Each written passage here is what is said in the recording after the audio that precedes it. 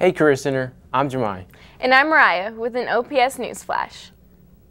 The Northwest High Huskies are once again taking it to the streets. After a brief hiatus, the school's annual homecoming parade is returning. This year, the parade will be held on Friday, September 26 at 1 o'clock. The route begins at 60th and Sorensen Parkway.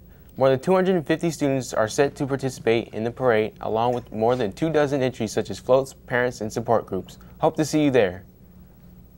Career Center TV teacher Mr. Ryan Hunter would like to thank everyone who took part in the recent Skills USA meetings. More than 200 students attended the meetings. The great turnout has Mr. Hunter confident that the Career Center will reach its goal of signing up 80 students for the Skills USA.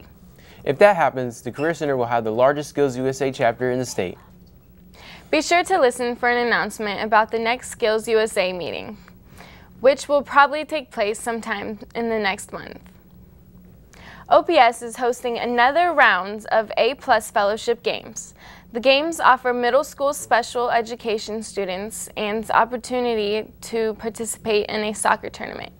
The year's A Plus Fellowship Games will be held Friday, September 28th at Bryan's High School Football Stadium at 10:30.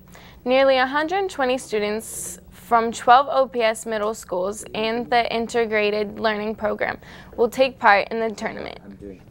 That's what's up this week at the Career Center. I'm Jeremiah. And I'm Mariah. Thanks for watching. See you next time. Have a stupendous, glorious, brilliant day.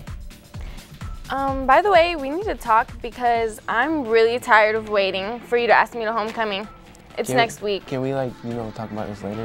No, we this perfect time right now.